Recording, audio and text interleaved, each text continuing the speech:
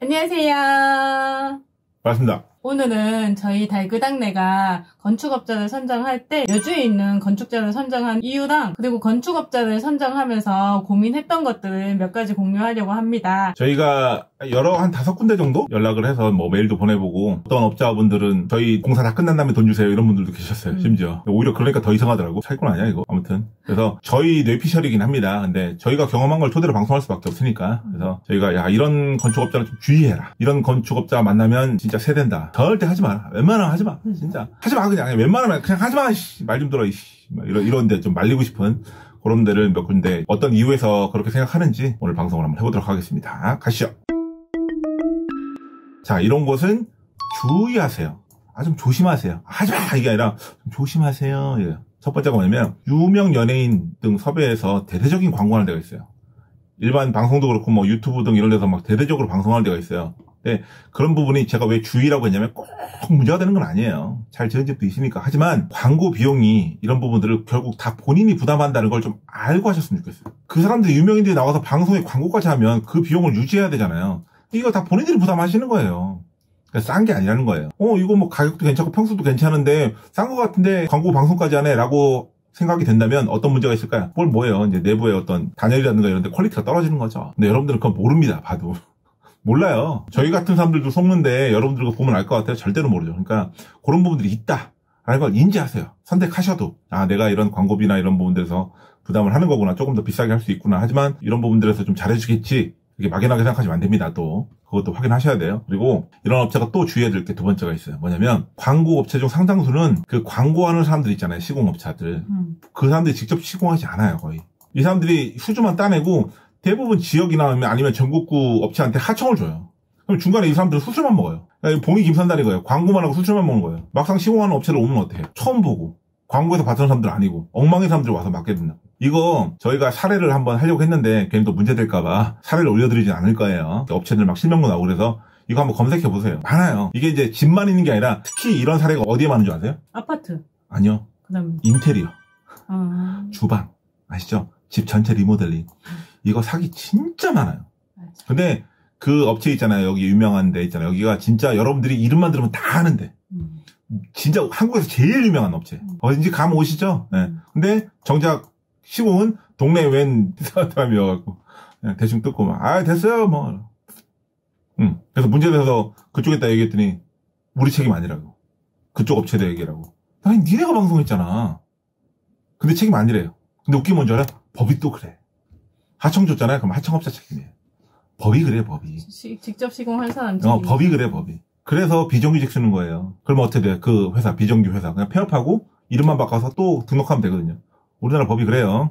뭐 같은데 그걸 잘 이해하시라고요. 뭐 같다고 내가 지금 당장 먹살 잡고 바꿀 수 없잖아, 이 나라를. 그럼 어떻게 해야 돼? 내가 그걸 잘 이해하고 알고 이용해 먹을 줄 알아야 돼요. 아셨죠? 왜 당장은 어쩔 수 없으니까. 그래서 이런 부분들이 있다는 걸 꼭 명심하셔야 됩니다. 혹시나 이런 업체를 이용하실 거다. 나 그분들 뭐 인테리어 너무 좋고 막 디자인이나 이런 것들이 너무 유니크해서 난 여기 꼭 해야 되겠다고 하면 아예 계약서에 넣으세요. 너네들이 직접 시공하는 조건으로 하라고.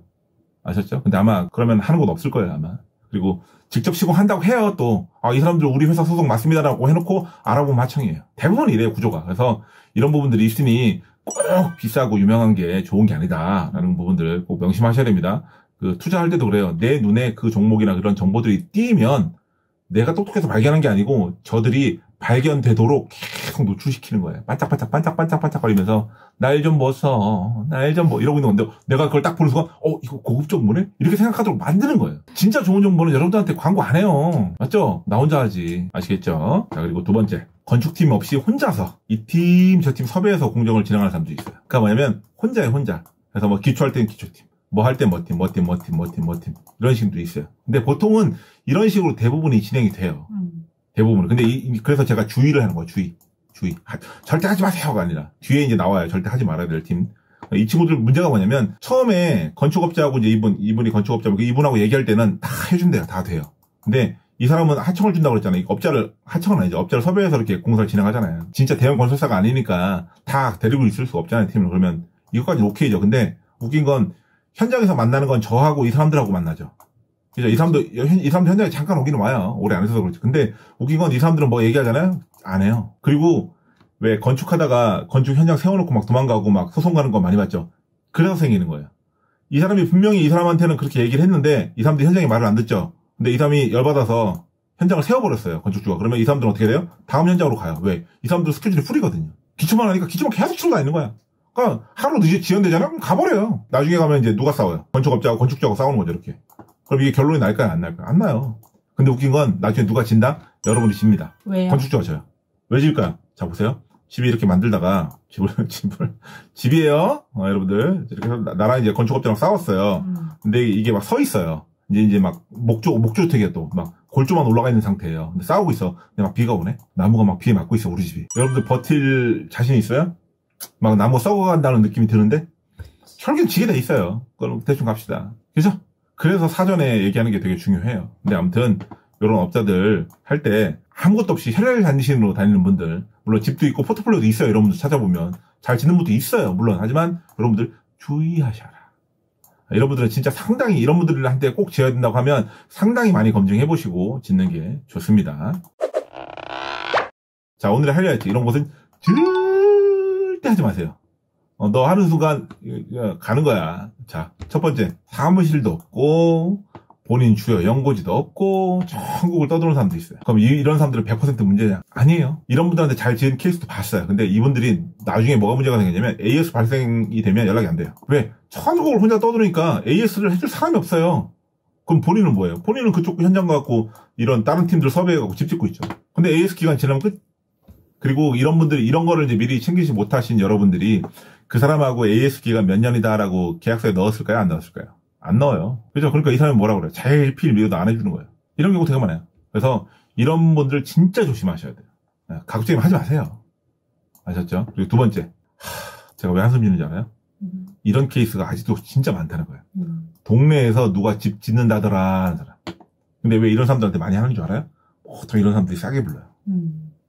어, 저, 저쪽에 뭐, 건너마을에 김씨 집 짓잖아. 근데 이런 분들 나중에 알아보면 상당수가 집을 짓는 게 아니에요, 본인이. 지어본 게 아니야. 집 짓는 데서 일용직으로 그냥 단순 알바나 노가다 했던 거예요. 근데 뭐라 그래? 내가 집 지어봤어. 이래요.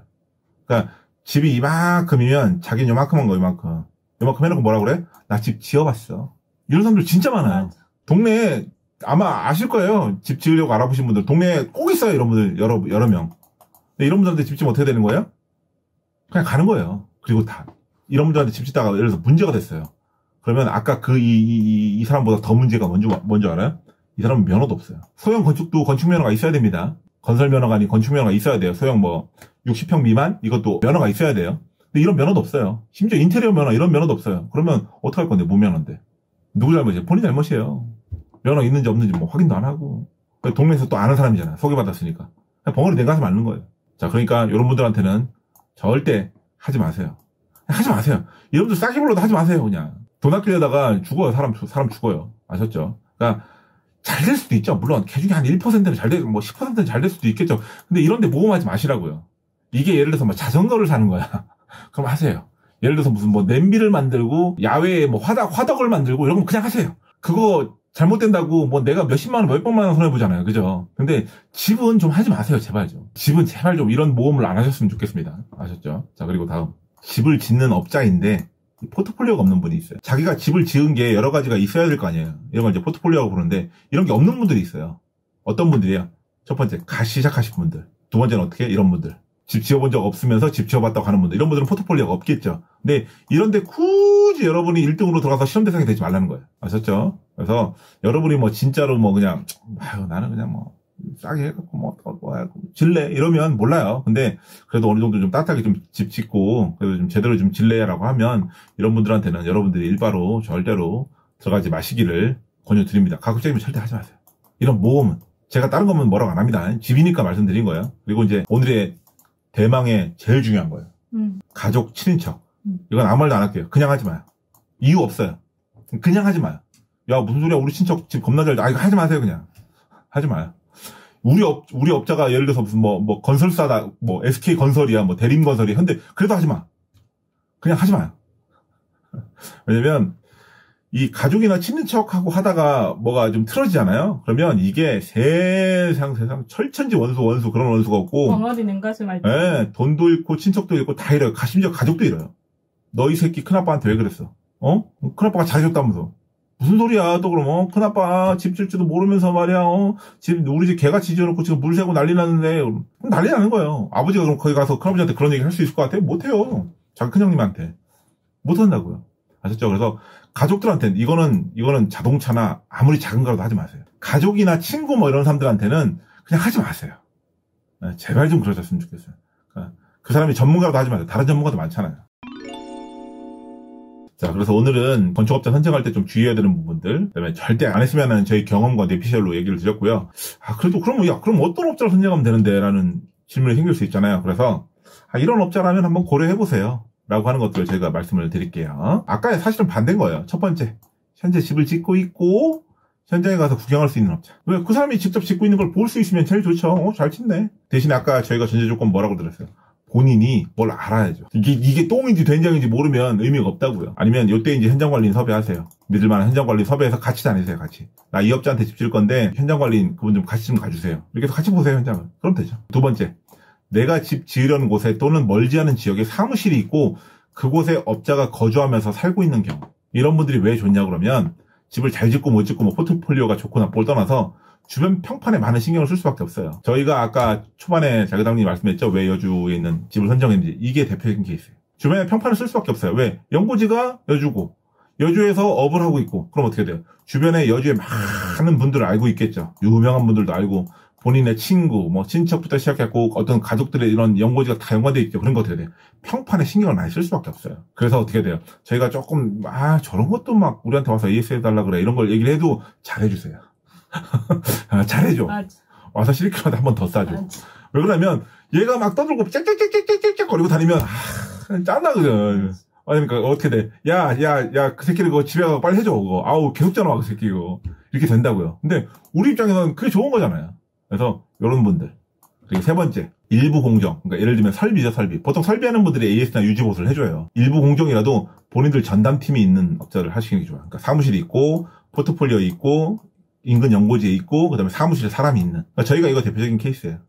저희 이제 건축업자 지으시면 저희 이제 근처에 있고, 이제 안에 설계하시는 분이 있고, 이제 뭐 전화 받고 하시는 분이 있고, 그 다음에 이제 설비하시는 분들 한두 명이 또 있어요, 이분들. 이분들이 이제 그 목조주택 지을 때 이제 기둥할 때 같이 하시고 또 AS 할 때 와서 또 AS도 해주시고 하세요. 뭐 창호나 뭐 에어컨이나 뭐나 뭐나 이런 분들도 다 여주에 연고지를 갖고 있는 분들이다 보니까 여기 건축업자에서 본인들이 못 갈 경우에는 이쪽 업체에다 전화를 하세요. 그래서 야 니들이 좀 가봐라라고 해서 이분들이 또 오시기도 해요. 그러니까 여러모로 좋아요. 여러분들이 좋은 업체 전국구로 시공하시는 분들 뭐 검증되고 유명한 분이면 좋겠지만 그게 아니다라고 하면 차선책으로 그 현지에 있는 그리고 사무실이 있고 어떤 신망이 있고 어느 정도 좀 기틀을 잡고 있는 업체한테 시공을 하시는 게 가장 좋다. 자 그리고 이제 플러스 알파. 아 이런 사람들은 뭐 거의 내가 집을 잘 몰라도 믿고 맡겨도 된다. 음. 라는 분도 있어. 아 내가 공부가 안 됐어. 음. 근데 뭐 현장 관리인도 좀 뭐 아 나 이거 그냥 그것도 부담돼. 이런 분들 있을 거 아니야. 그러면 이런 분들을 좀 플러스 알파예요. 이건 있으면 좋고 없으면 어쩔 수 없고. 유튜브 등 홍보 채널을 운영하고 있고 주요 공정을 모두 확인할 수 있는 업자. 그러니까 각 주요 공정 자기들 시공하는 걸 다 영상으로 오픈하시는 분도 있어요. 집 지을 때마다 어느 특정 하나 샘플로 만들어 갖고 막 우리 이렇게 잘 지어라고 광고로 만든 거 말고요.